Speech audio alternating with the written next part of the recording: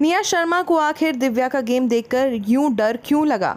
क्यों वो ये बोलती हुई नज़र आई कि दिव्या अग्रवाल एक बहुत ही बेहतरीन प्लेयर है गेम के लिए और उनका गेम देखकर उनको बहुत डर लगा क्योंकि दिव्या को एक्चुअली पता है कि कब, कहाँ, कैसे, क्या बोलना है and she is the perfect player for the game दरअसल निया शर्मा जो है घर में एंटर कर चुकी हैं वाइल्ड कार्ड कंटेस्टेंट के तौर पर और जब प्रतीक सहजपाल से वो बात कर रही थी तब उन्होंने ये बात रिवील की कि उन्हें किस तरीके से दिव्या का गेम बहुत पसंद भी आ रहा है तो कहीं ना कहीं उनका गेम देखकर डर भी लग रहा है। उन्होंने बताया कि जैसे ही दिव्या फ़र्स्ट वीक के अंदर ही एंटर की और जिस तरीके से उन्होंने अपना गेम ओपन करना शुरू किया, वो उनका गेम देखकर काफ़ी डर गई थी because Divya exactly knows how to handle things in the house उनको पता है कि किस चीज़ को कहाँ पर कैसे मुद्दा बनाना है, किसको कैसे हैंडल करना है, किसके बारे में क्या बोलना है, कहाँ कैसे चीज़ों को सॉर्ट करना है। And she has seen this outside the house as a viewer वो दिव्या को गेम को, दिव्या के गेम को बहुत पसंद करें थी। इनफैक्ट उन्होंने बताया कि बाहर भी ऑडियंसेस भी जो हैं, वो दिव्या के गेम को बहुत पसंद कर रही हैं and she would really like to bond with her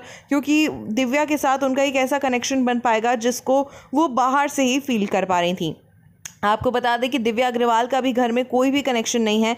And Nia can be a good connection for Divya Agarwal. Only अगर दिव्या जो है निया के साथ एक बॉन्ड बना पाती हैं।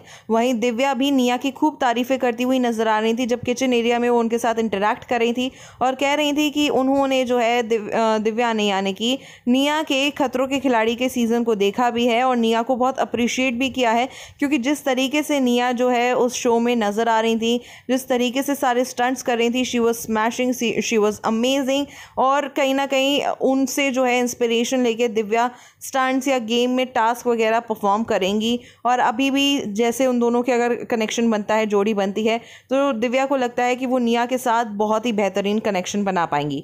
सो लेट अस सी कि इन दोनों का कनेक्शन बन पाता है कि नहीं। निया जो है, दिव्या को प्लेयर तो अच्छा मानती है, लेकिन कनेक्शन बनाएँगी या फिर नहीं, ये रहेगी देखने वाली बात। और आप सभी को क्या कहना है इसके बारे में? क्या निया का कनेक्शन बनता हुआ देखना चाहते हैं। आप दिव्या के साथ जल्दी से लिख दीजिए इसके बारे में कॉमेंट सेक्शन में। बाकी हमारे चैनल के साथ जुड़े रहिए और भी खबरें हैं, लगातार ऐसे ही आप तक पहुंचाते रहेंगे।